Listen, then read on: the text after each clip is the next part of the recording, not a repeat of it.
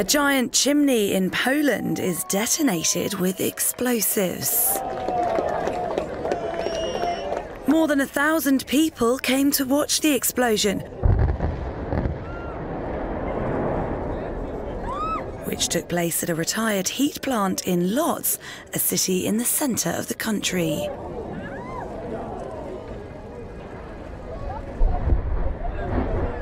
Drone footage showed a huge cloud of dust and debris rising over nearby woodland after the 140 metre high chimney crashed to the ground.